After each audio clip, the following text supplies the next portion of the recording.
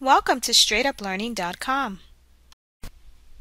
Misspelled words in Microsoft Word are identified by having a red squiggly line underneath the word that is misspelled. For example, the word we're looking at right now that contains a red squiggly line is apparently a misspelling.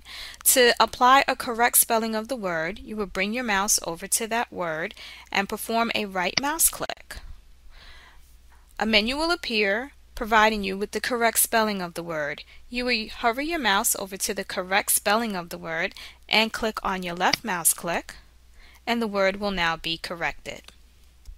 Another method you can use to spell check your document is navigating to the Review tab menu item. So we scroll our mouse up to Review right here and click on Review the ribbon will appear and the first item on this ribbon is your proofing ribbon with the spelling and grammar feature.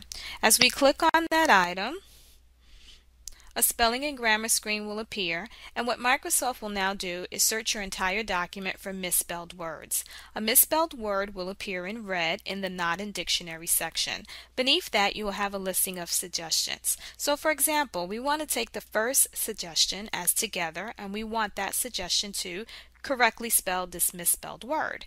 What we can do to get this word to change automatically to the correct spelling is come over here to the right side of the screen and click on change and that word is now corrected.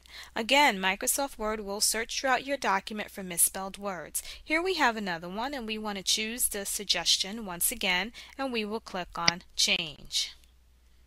We now have another word that has appeared, and this word is Jeffersonians. Now, although it's not in the dictionary, in the English dictionary, this may be a word that, for some reason, is a word that we will like in our dictionary because we may be using it often. So, when you have what's considered a misspelled word to the dictionary but not misspelled to you, you may want to add it to the dictionary so that misspelling will not come up again. To do so, we can merely just come over here to the right side of that screen and click on Add to Dictionary. And that word will be now added to the dictionary. Once your spell check has been completed, meaning there are no more misspelled words in your document, the spell check is complete screen will appear. You can just click on OK and you'll be done with spell checking your document. Thank you for attending. For additional courses, visit us at www.straightuplearning.com or contact us at 704 909 6139.